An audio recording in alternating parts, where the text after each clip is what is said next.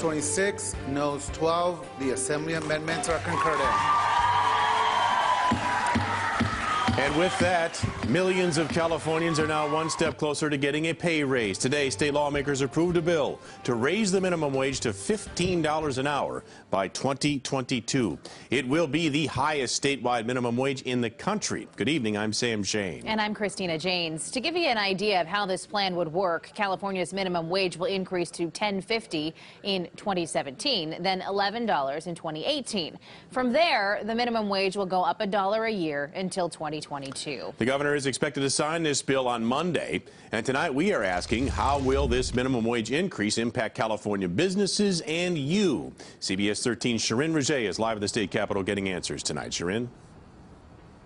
Christina and Sam, it's a highly emotional issue, as you saw with reactions inside the Senate and Assembly chambers. And this can be life changing. But as Governor Brown gets ready to sign this legislation on Monday, the impacts on both sides are powerful.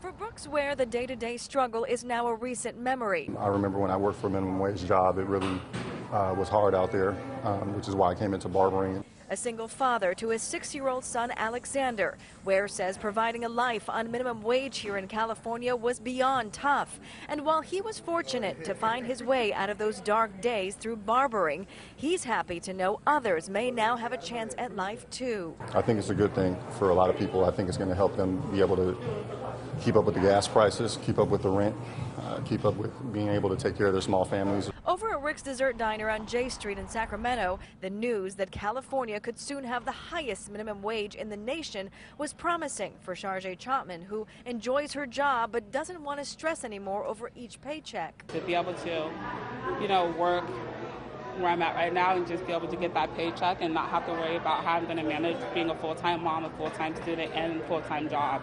Yet the stories around Thursday's vote aren't all positive. In fact, the bill has been at the center of controversy with state leaders and business owners who say the wage increase kills jobs. This wage is not sustainable for a lot of companies. When you're talking about jumping from $10 to $15, in that $5 increase, you're talking really about a $12,000 increase per employee. So if you've got 10 employees, you're talking about trying to find $120,000 in new revenue. Where does that money come from? Tatishi says as a result, some small businesses and nonprofits may be forced to close their doors or lay off workers or reduce hours. And yet some workers are simply concerned about the effect it could have on consumer goods.